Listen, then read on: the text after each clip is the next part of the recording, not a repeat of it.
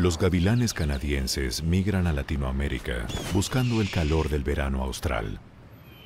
El arribo produce cambios en su comportamiento.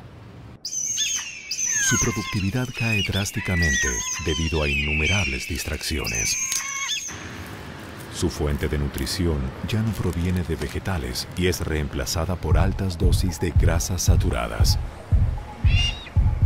Los machos pasan largas noches lejos del nido y los cambios en sus rituales de apareamiento producen una significativa explosión en su población, saturando todo espacio habitable. A la hora de regresar al norte, algunos quedan atrás olvidando sus instintos naturales, algo que los científicos denominan Canadá.